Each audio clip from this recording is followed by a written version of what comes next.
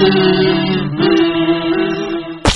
วัสดีครับทุกคน ยินดีต้อนรับเข้าสู่ช anel The G Monster นะครับ แล้วก็อยู่กับผมจีอีกเช่นเคยนะครับ ในวันนี้นะครับจะมาบอกวิธีการคำนวณค่าไฟแบบง่าย ๆ เลยนะครับผมจากการที่เราได้ไปขุดบิตคอยมานะครับ อยากรู้ว่าค่าไฟเราเนี่ย มันเท่าไหร่นะครับ ในวันนี้จะมีแอปดีๆนะครับ มาแนะนำให้กับ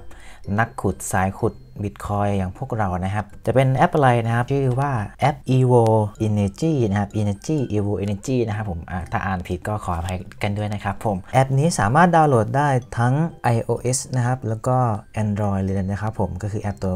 ตัวนี้นะครับผม energy evo นะครับ เอ้ย evo energy เออ นะครับวิธีการดาวน์โหลดนะครับผมเราก็เข้าไปโหลดที่ App Store ได้เลยนะครับผมจากนั้นเข้าไปที่ App Store นะครับ หรือว่า Play Store ครับ พิมพ์คำว่า evo energy นะครับ จากนั้นก็จะเห็นคำว่า evo energy คำนวณค่าไฟฟ้า เราก็ติ๊กเข้าไป เสร็จแล้วกด ติดตั้งนะครับผมตัวนี้ผมก็ได้ติดตั้งเข้าไปแล้วนะครับ สมมติว่าทุกคนติดตั้งเข้าไปแล้วนะครับ ก็ให้ทุกคนเข้าไปที่แอป UNG เลยครับ จะเห็นหน้าต่างนี้มานะครับผมก็จะมีโฆษณากันด้วยนะครับ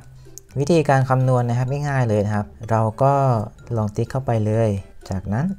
ระบุชื่อเครื่องใช้ไฟฟ้าหรือว่าเเครื่องบิตคอยของเรานะครับ แต่ละรุ่นเราก็พิมพ์เข้าไปแล้วกันนะครับ สมมุติว่าผมพิมพ์ไปว่า RTX 2060จากนั้นไปดูนะครับว่าค่า ที่เราตั้ง overclock นะครับในโปรแกรมนะครับ มันกินไฟไปเท่าไหร่ เราก็ใส่ไปเลย สมมุติว่าของผม 2 RDX 2060นะครับ มันใช้ไฟไปประมาณ 125 วัตต์ครับ จากนั้นใช้เราจะเปิดทั้ง 24 ชั่วโมงไปเลย โอเค ถ้าใครมีกี่เครื่อง ก็ใส่ไปนะครับ ก็สมมุติว่ามี 5 เครื่องก็แล้วกันนะครับ โปรแกรมในแอปนี้มันก็จะจะคำนวณเองเลยนะครับ ต่อชั่วโมงนะครับ เราก็จะใช้ค่าไฟอยู่ที่ 0.6250 หน่วยนะครับ แล้วก็ค่าไฟต่อชั่วโมงจะอยู่ที่ 2.5 บาทนะครับ ผมต่อวันก็ตกอยู่ที่วันละ 60 บาทกันเลยนะครับ ก็จะเป็นประมาณนี้นะครับ ในการคำนวณค่าไฟนี้ครับ ก็จะใช้หน่วยที่ตั้งไว้อยู่ที่ 4 บาทต่อหน่วยนะครับ หรือว่า สามารถตั้งค่าได้นะครับ สามารถเปลี่ยนหน่วยได้นะครับโดยการเปลี่ยนไปที่หน่วยค่าไฟ ค่าไฟนะครับต่อหน่วย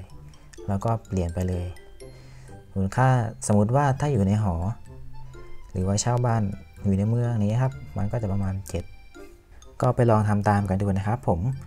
ก่อนจะจากกันไปอย่าลืมกดไลค์แล้วก็กดติดตามให้กับช่อง The G Monster กันด้วยนะครับ เพื่อเป็นกำลังใจให้ผมทำคลิปต่อไปนะครับผม